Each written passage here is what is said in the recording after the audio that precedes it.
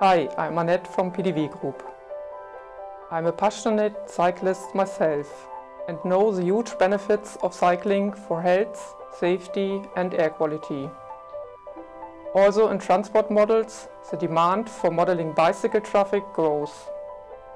This not only refers to the forecasting ability on the demand side, but also includes the assignment of bicycle demand. In the new version of PTV Visum, we have added a dedicated bicycle assignment method, enabling route assignments which better reflect route choices made by cyclists. And these are the five modeling steps to get bicycle demand assigned to the network.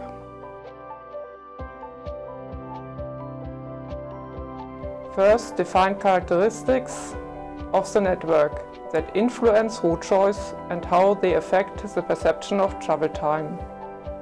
Examples are the pavement of roads or the type of cycling facility. Cycle roads have a positive effect on the perceived travel time, whereas sharing spaces with pedestrians are perceived as an increase.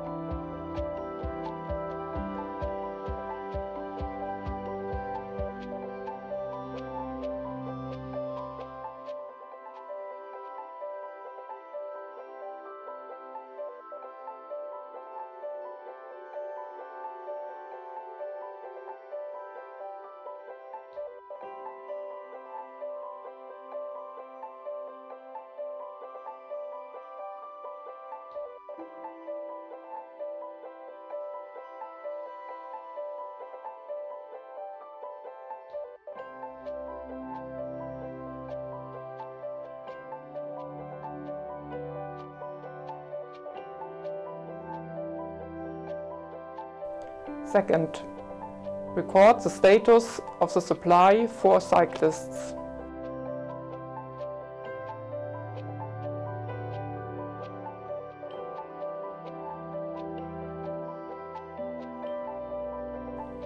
Third, populate the factors to network objects that reflect the influence on travel time.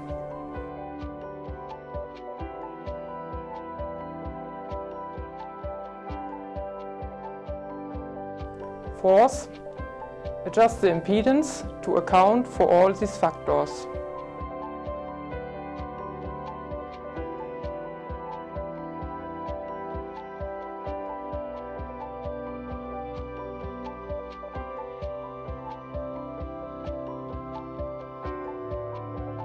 And fifth, add the bicycle assignment and run the assignment.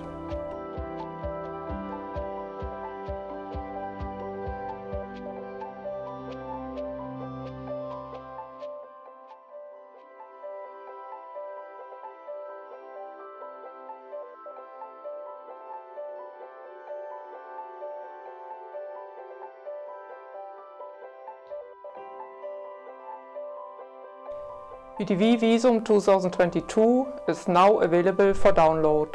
As we continue to develop new Visum features, we'd love to get your feedback.